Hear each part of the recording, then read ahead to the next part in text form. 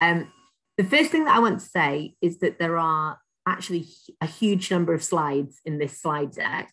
And the most important thing to sort of remember is that the slide deck is available for you.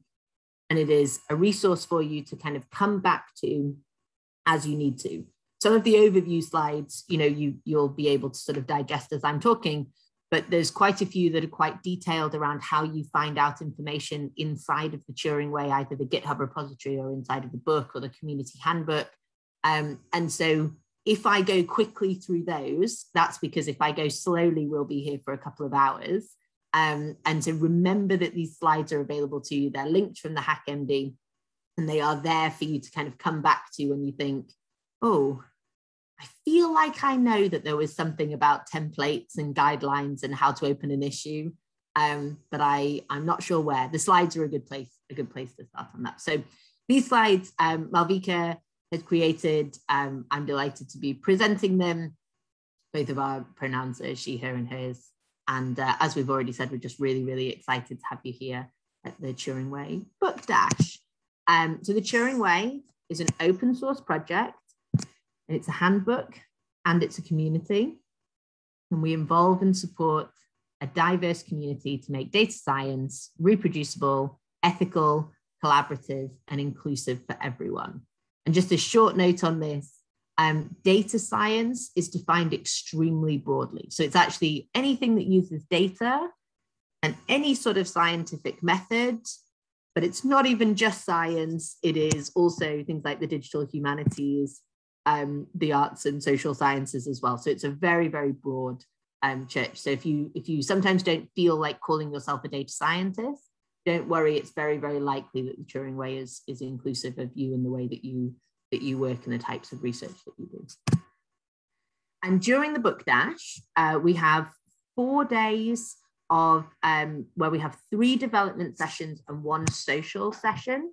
Um, each development session is two and a half hours, and we'll follow a Pomodoro technique. So we'll have um, sort of a timer, the cuckoo clock timer that will run for 20 or 25 minutes, and then we'll have a short break, and then we'll we'll keep running on that. And you can work in small groups, or you can work um, by yourself during those sessions. And the social the social sessions are um, what we're, we're trying to sort of capture the fun and, and the interactions and the getting to know cool and interesting people that can be sometimes missing in um, in online spaces. And so the social sessions are are really really beautiful. And I, i'm so delighted that many of our book dash committee are going to be leading on those.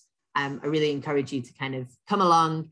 But if you want to join from you know a, a walk outside or while you're sort of moving around your apartment or doing something a little bit different you're very, very welcome, welcome to do so. Um, we've got an amazing committee this, this time around. Um, thank you so, so much to Ariel, Batul, Brigitte, Carlos, Emma, and Esther. Really grateful for all of your involvement, all of your sort of insight on how we can keep improving on the book dash and how we can just make these days um, easier and more enjoyable for myself and for Malvika because we're we're sharing these responsibilities and really really appreciate it. So thank you so much. Um, so I work at the Turing Institute, and the Turing Institute is the UK's National Institute for Data Science and Artificial Intelligence, and um, it is funded in part by our university partners. There are 13 uni university partners from across the UK. And then it also has a significant number of um, uh, institute, uh, sorry, um, industrial partners or partners from the third sector, so from charity sectors or from government. These are various different, um, uh, various different partners on this slide. And actually, the Turing Way itself is funded by the program that Achintya mentioned um, that he's working on, which is the AI for Science and Government program. And this was a uh, it was a 40 million pound investment. The 8 million went on a different uh, project, which is looking at digital history. Um, and what we think about in the um, tools, practices, and systems cross-cutting theme, both of the AI for Science and Government program, the ASG program, which is the, the big investment, the 40 million pound investment, and also um, it's a program of the Institute itself now, is thinking about how we can support researchers in domain specific applications to address some of our challenges. So, some of the areas that I am particularly interested in are revolutionizing healthcare, making algorithmic systems fair, transparent, and ethical, supercharging research in the science and humanities, and fostering government innovation. And I'm really delighted to collaborate with experts who do uh, modeling for things like um, national air traffic control, uh, our colleagues in the department, in the um, defense and security program who are thinking about managing security in an insecure world. Uh, we have a partnership with Accenture who's thinking about how we can use open infrastructure to be uh, things like synthetic data and secure research environments to make working with um, economic data more responsible. And then also, very, very excitingly, how we can invest in, in computers for the next generation of algorithms. So, what hardware do we actually need to start to build that allows us to unlock the power of data? So, working across all of those, we think the Turing way is applicable to every single one of those problems. Um, well, not problems, the challenges. The Turing way, as you'll have you know heard us say multiple times, is um, I'm just going to move my tab here. A book, a community, an open source project, and collaboration. And this is a good slide to come back to if you ever need to kind of find some uh, useful links. The real interesting thing that I could talk about for a really long time is a little note on the name. So it is um, funded by the Turing.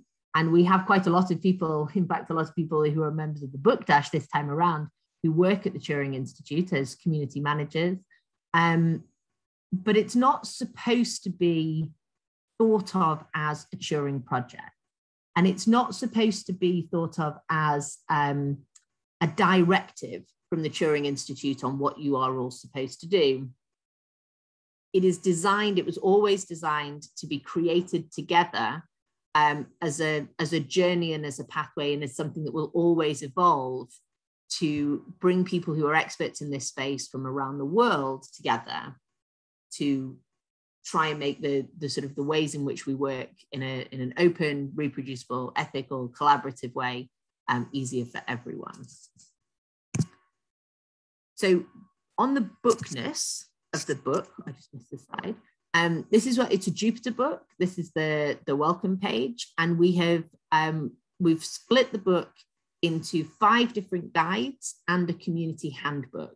So there's chapters inside of these various different guides, um, and then the community handbook has lots and lots of our processes and sort of um, how you can find a lot of help for how to contribute.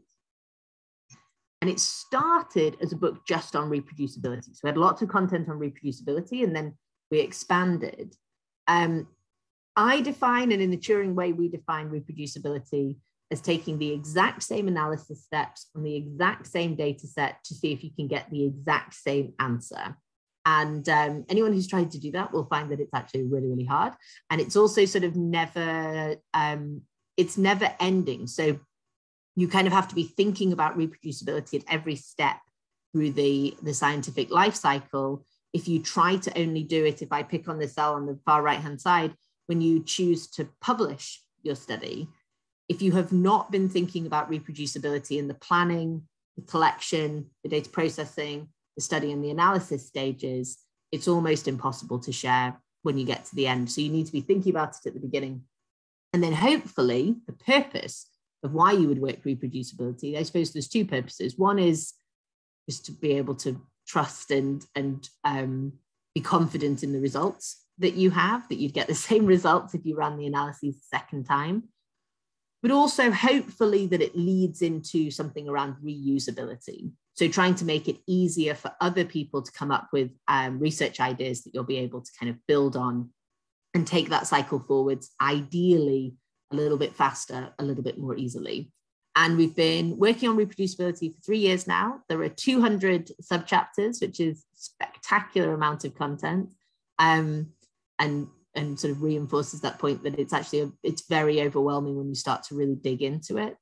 Um, we have 300 contributors and a successful community of practice, and it's the community of practice that we're really most excited about for the for the Turing Way. Um, but because when we start to think about why people don't work reproducibly, reproducibly, it tends to be because of the incentives that are involved, and also because you need to be thinking about reproducibility at many different stages.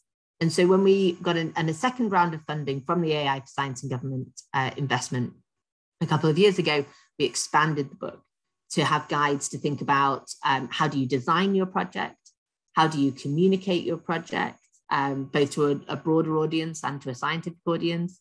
Um, I have a, a, a, huge sort of soapbox that I like to stand on where I, I love to hear what people think collaboration means, because I think a lot of people have a sort of internal definition of collaboration, but it's often not the same. And that's a great sort of meta reflection on how hard collaboration can be. Um, and then having a separate guide for ethical research was a big struggle for us because actually everything that we should be doing is for the purpose of making research more ethical, more responsible, more reliable, more transparent. Um, but we did put it in its own space because so many people are sort of wanting to kind of come along and really think specifically in that area. But again, these are these are quite artificial separations because actually everything is connecting in together to think about how we can have more reliable, responsible, collaborative, inclusive uh, research projects. And then the community handbook, as I said before, the community handbook is your sort of guide for how, how do I use this book? How do I contribute? Um, who are in the community as well. So the book structure has, um, there's the guides, which are those five guides at the top level. And then inside the guides are chapters. And then inside those chapters are sub chapters. And a huge contribution that you and, and anyone else could make to the Turing Way is providing links between chapters that already exist. Because as I said, when we when we come to sort of modularize the knowledge, um, we have to just sort of pick. We have to pick which area. Um, data management is a great example. Data management goes in so many different spaces. It's part of collaboration. It's part of project design. It's definitely part of reproducibility. And so one of the piece, one of the the contributions that you could make, as well as as writing something new and adding to the content that's there, is actually either updating content that exists to kind of make it fit a little bit more into the broader context as more chapters or sub chapters arrive, um, or not write a new chapter, but link very clearly to one that's in, for example, a different guide or a different chapter. Um, in the community handbook, we have some templates and we have lots of guidance. Although I will note that if you find that the guidance is missing something, we would love to receive your pull request to improve the guidance and improve the, the documentation around the templates to maybe make it easier for people to use. Um, so in the book directory of the GitHub repository, you'll find some templates and they're a really good way to sort of get started just because we'll have put in the right sort of headings and a few different kind of notes for you to, to kind of get up and running if you're going to write something new. Um, and I think I have already said about the chapters and the building blocks and then and they make up the guides and then inside of the, the, sub, the chapters are sub chapters. Um, and we there's a few different aspects that are really kind of we like to include. So a, a checklist section is really helpful. Um, a resources section is really helpful. And you could also one of the things we're looking to to build up in the Turing way is a few more personal stories that just make it a little bit more kind of exciting and and sort of well personable and easier to to relate to to kind of some of the sort of dry um, guidance that we're creating. So it's also an open source project. And um, it's important to us, this is like part of the sort of founding purpose that we, we hold our values because if we're going to tell everyone else to that they should be working openly and inclusively then we need to be doing the same thing as well um, everyone can freely read reuse distribute modify and develop the turing way um, the project belongs to the turing way community so that's our that's the authorship it is a community um, author. And we try very hard to build on open source infrastructure. So we use Git very extensively for version control. Um, we the book itself is a Jupyter book. Uh, we have Binder integrations, and we use Netlify as well for um, hosting the service. And we make contributions via GitHub. So you've already been at the, the sort of pre-book dash training on GitHub. One of the reasons that we do this is because actually, if you don't know how to contribute to GitHub, you are sort of excluded from a huge, a huge kind of uh, community or, or set of communities who are building really, really valuable open source infrastructure uh, that may be useful for your research project. And so there is a sort of side investment that we want to have with the Turing Way that leads people feeling confident contributing through GitHub, both to help you contribute to the Turing Way, but much more importantly, to help you either run open source projects yourself or be able to contribute to other open source projects that are working on GitHub. Um, we have a code of conduct, we have contributing guidelines, we have a README file, and we have a list of contributors in the GitHub repository. So you should be able to find out some useful information from each of those. And um, let me just talk a little bit more about the community. So there's 300 members of the community, um, and they are the Turing Way. They are the the, the writers, the users. Um, they are the sort of the, the purpose and the people of the project. And we spend a lot of time as well thinking about how we can um, how we can support people to feel that they're a member of the community and to contribute at the level that sort of best fits their needs and their interests and their skill sets and their confidence right now. So at a first level, we might sort of just connect folks you feel a little bit less alone. Um, we're very keen to help people learn a new skill if there's something that we can support on that. So obviously GitHub is, is one that I just talked about, but there's lots and lots of skills inside of the Turing Way. And then once you've learned that new skill, then we think, well, maybe you might want to share those skills and we might want to empower you to, to connect with others and to help them to learn something new. Um, and then you start to sort of level up even further to, for example, attending a, a book dash where you might discuss ideas and collaborate with others to improve or to or to add new content. Um, once you've done that a little bit, uh, we'd be delighted to encourage you and support you in mentoring others' contributions. So you might go back to your research groups or your home institutions and support them to contribute, or you may come along and, and work with us in, in other ways uh, like our, our fantastic book dash committee. Um, and once you have a certain level of confidence, we really, really hope that you'll choose to go out and represent the Turing Way. So maybe that's giving a talk, maybe that's leading a workshop. We have lots and lots of materials that you can use and reuse um, that you can customize to, to make sort of most appropriate for your needs and for your, the, your community's needs. Um, but we we really love it. The more people that are going out and talking about the Turing Way, the much more successful, uh, from our perspective, that um, that open source community uh, mantra is. And we spend a lot of time, uh, a couple of years ago, Malvika and I, well, last year, I suppose, in 2020, we spent a lot of time thinking about how we can make sure that we are acknowledging people um, in the way that is most appropriate to them so we have an all contributors bot that adds anyone who contributes basically anything at all to the README file. And that adds up to that, that great screenshot that you saw earlier.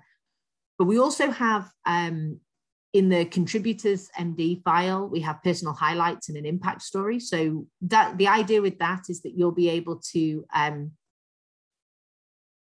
share with others your personal kind of write up how you've contributed to the Turing Way. So we give you the opportunity to write in your words what you have done for the Turing Way and for the Turing Way community, for the book and for the community, because we feel that that's the most useful thing for you. Um, so please do have a think through this week of what you want it to say in there. If you were going to share, if you were going to uh, write in a, in a cover letter for a job application that you had contributed to the Turing Way, what would you want the, the readers of that letter to see? And then write that, write that in the contributors.md file. And that is published in the afterword of the book. So you can easily search and find and find the stories of those different contributors. And we are really invested, as, as you'll know from the pre-meetings as well, um, in a culture of collaboration. We're going to have a we're going to have a discussion today, I think, on open leadership and the open leadership principles of making the work accessible and clear, making the work easy to adapt, reproduce, and spread, and building shared ownership and agency to make the work inviting and sustainable for all. Every contribution counts. Um, and there are sort of lots and lots of different dimensions to collaboration. It isn't just kind of plonking people together and saying, right, let's um, let's let's do this work together. There's a lot of um, often hidden or um, difficult to measure work around treating each other kindly, having a responsible code of conduct, um, building an inclusive workspace, being explicitly open for contribution. So, really welcoming people to come in and, and share their perspectives, building diverse teams. And we have lots of different pathways for contributions. This is one of these slides that you can always kind of come back to for a little bit of inspiration. You might want to develop and share some mentored contributions. You, we love it when you can find broken links or you can find typos or you can find things that are not um, up to date in the book and you can so you can maintain and improve the content there. You can share resources with others. Please do review other people's pull requests. That's a great contribution and very very helpful. We have some spectacular work that's going on around translating the turing way into into other languages um, and then please also share best practices the purpose of the turing way is to try and make the rest of sort of data science research more effective and more efficient and obviously also more responsible and ethical. Um, so please do promote and share the work um, that we're doing. So during the book dash, this is, uh, I think, me sitting at my desk. This is one of the illustrations from our fantastic Scriberia artist a couple of book dashes ago. My, my dog sitting next to me and chatting with all these lovely contributors. Um, we have, I think this is our third virtual book dash. Is that right? Does anyone have any, Malvika, is this our third one? Third virtual, sixth third virtual. Perfect, thank you so much. Um, and we have adapted the book dash that used to be in um, an in-person event to be more inclusive of international representation. We have uh, we reason we start very early and we finish very late is to try and make sure that there are opportunities to participate across multiple time zones.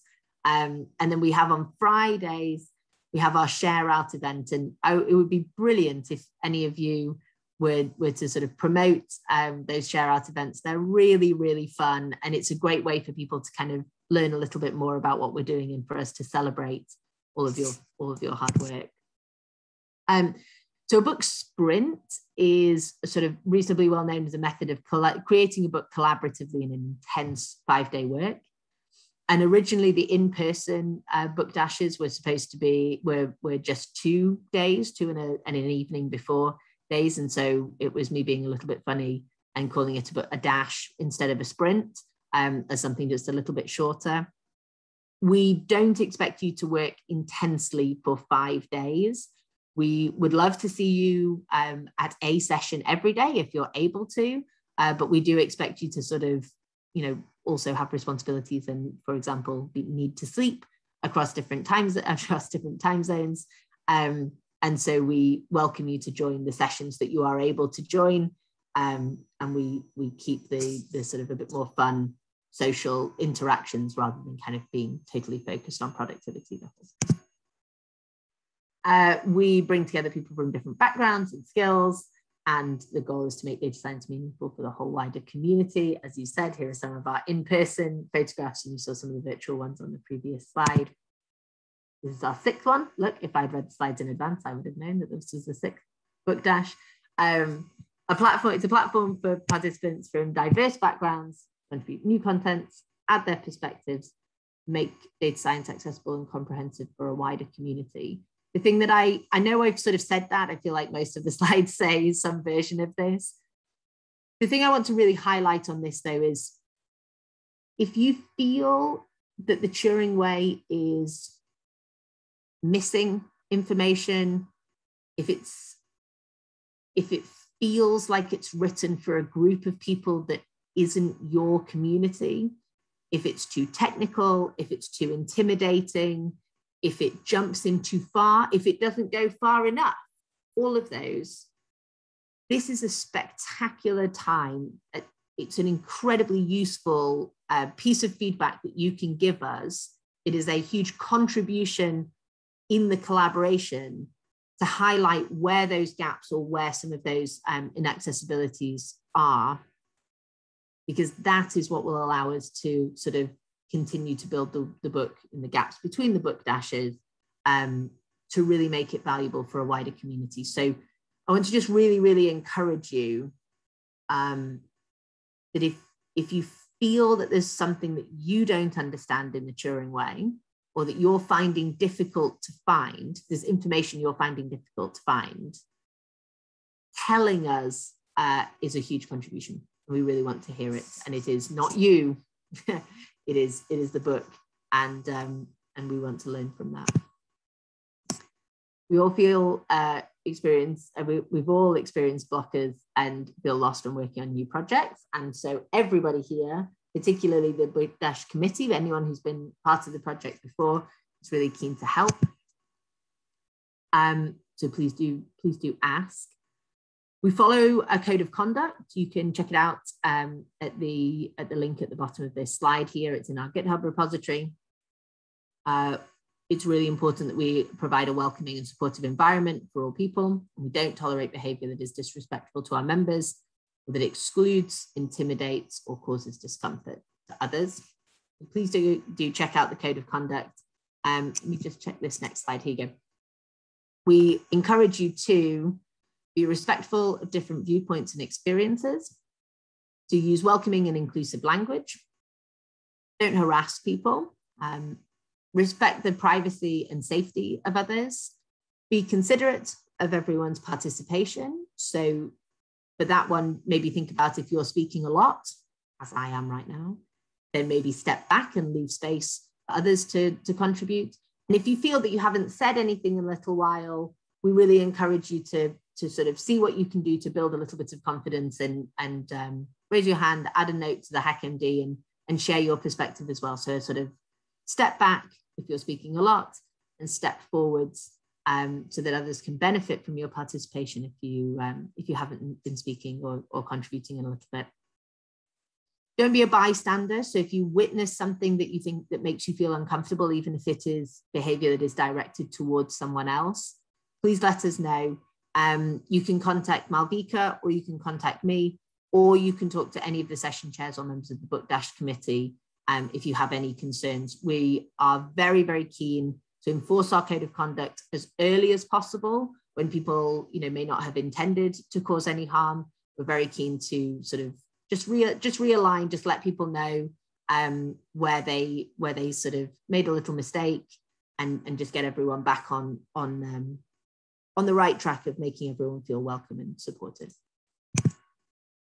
Uh, so this date is this date is wrong this 21st of may. This is the friday this is friday for um this week which is someone's going to be able to shout out for me the date friday but it's the 8 9 10 12, the 12th of november.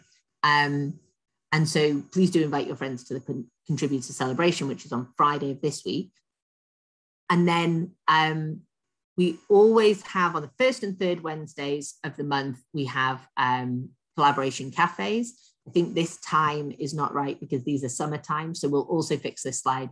So it's actually at 3 p.m. UTC now that the clocks have changed. It's 3 p.m. UK time. That's basically when we start the collaboration cafes. They're for two hours. They're teeny tiny little mini book dashes because they give you an opportunity to um, work in little Pomodoro sprints, have a little bit of a social chat, have a bit of a brainstorm, but potentially take forward some of the contributions that you um, that you've been thinking about, including mentoring and supporting others. We have some community co-working um, sessions and I we don't currently have onboarding and catch up sessions that are run, but we could bring those back. And we are going to bring in um, more fireside chats. So we've done one fireside chat so far, which was a few weeks ago. We're lining up a couple more to sort of let people explore and understand a bit more of the, kind of breadth and scope of the Turing way. Um,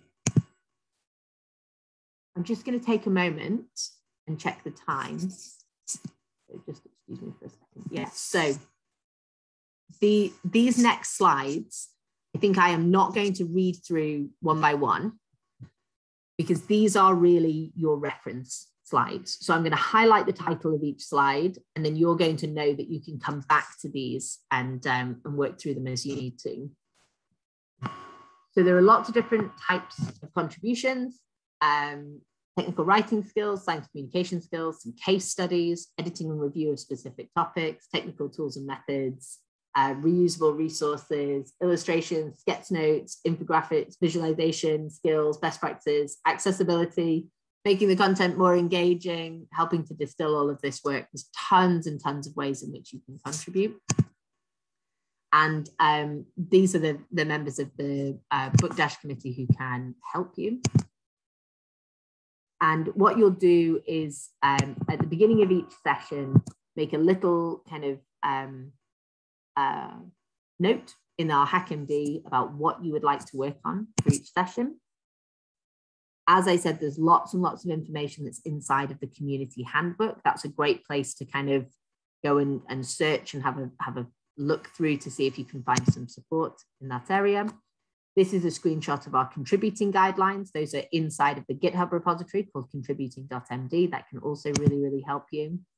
Um, and we have a few guides on, on working inclusively and using inclusive language, some support for writing in Markdown, the style guide, how you contribute through GitHub. Um, I already mentioned the guidance and the templates. And um, there are various different ways to get in touch. But right now, the Slack channel is probably the easiest one.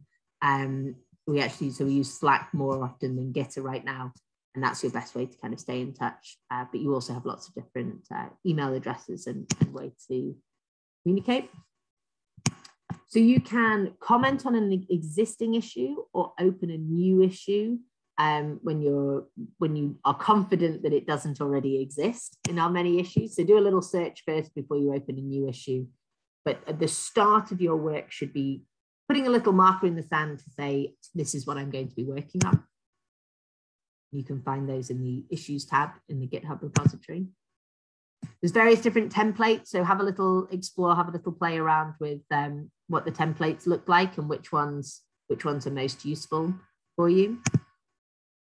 And uh, you can add a descriptive title. A title is the most useful thing actually, because that's what people are using when they're scanning between the different open issues.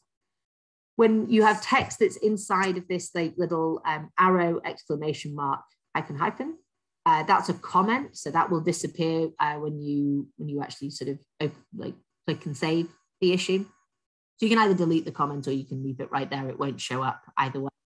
And where it says lorem ipsum, um, please replace the lorem ipsum. That's that's placeholder text that's waiting for you to, to fill it in. You can add assignees and labels wherever relevant. Uh, we don't really use projects we don't really use milestones in this uh, in this project, so don't use those tabs, but do use use labels. That's really helpful.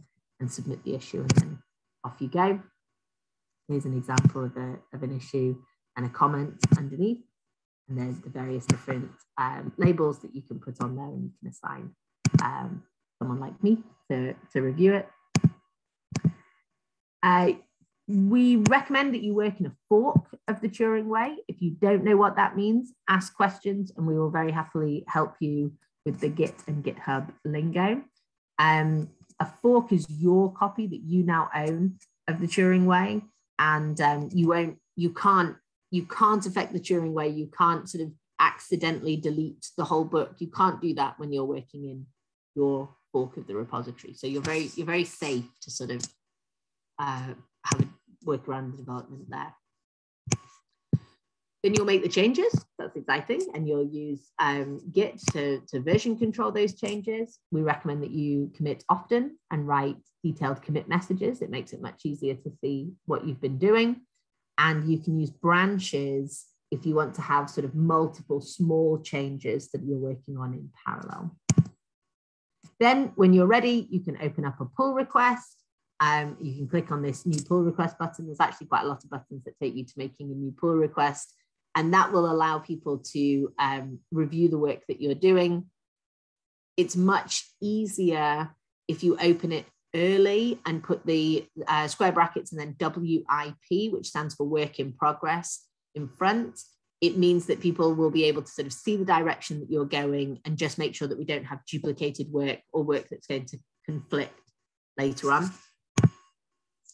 Um, you're comparing different branches. Uh, and, and those can be across forks or inside of the same GitHub repository. And uh, what you'll be able to see in the pull request is what has changed in green or red compared to what's in the book right now.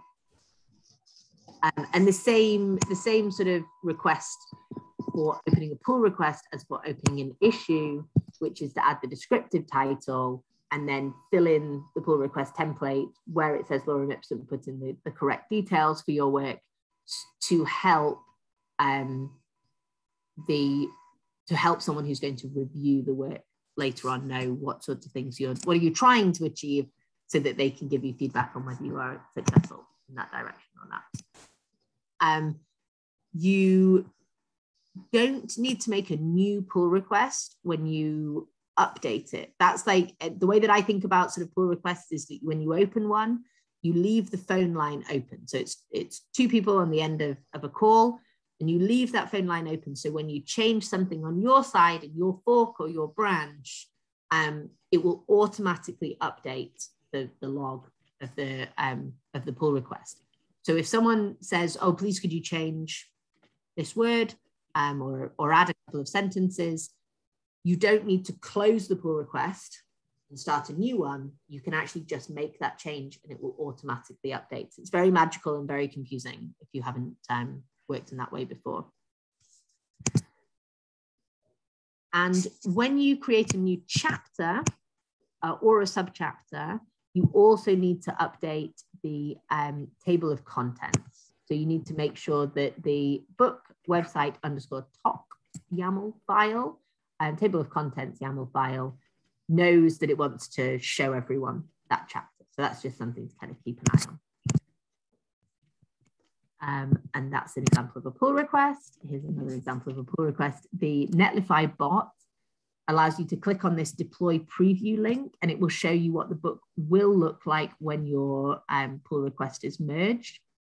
And that's a really, really nice way to check if all of your formatting, if your links are there, if it sort of reads the way that you were expecting it to in your um, and I'm going to leave this slide as a recommendation for you to come back to have a look and, and think about the various different ways in which you can contribute to uh, reviewing pull requests.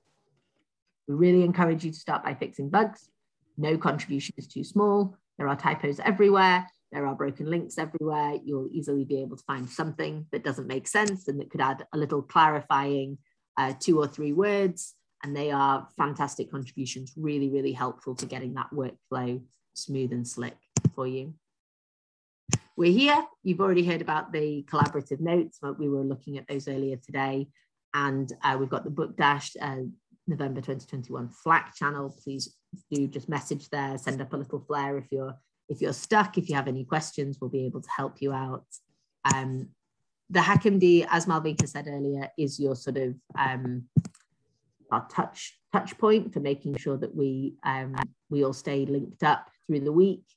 There's you can you can figure out the formula for the URL to get to day one, day two, day three, day four, and the share out on day five notes please do link as much as you can in there to the work that you're doing. It makes it really, really easy for us to report the contributions that you're making and the hopefully the impact that um, that you're helping us to achieve.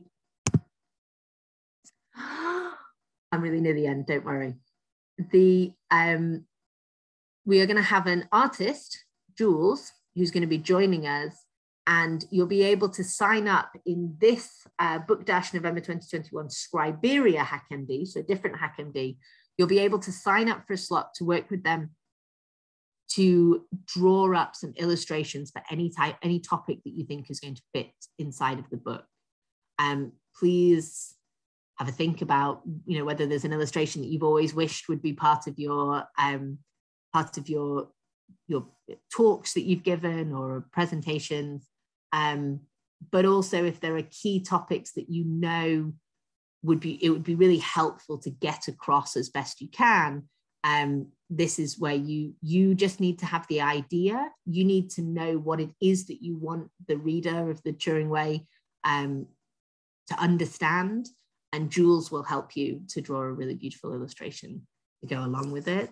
Um, so i hope you really really enjoy that that experience. It is it's just amazing to work with such talented artists and we're done we're finished Thank you for listening to me uh, chat away. Malvika actually just got promoted. This is another out of date slide because Malvika is now the co lead uh, for the Turing Way with me, and she was the, the community manager for a couple of years. We are going to be interviewing for community managers in the next um, couple of weeks, and we're very, very excited about that. Uh, but mostly, thank you to everyone who are the members of the Turing Way community, our friends and collaborators. Thank you so much to you for being here and listening to me chat so much. Thank you, Kirstie. I'm going to stop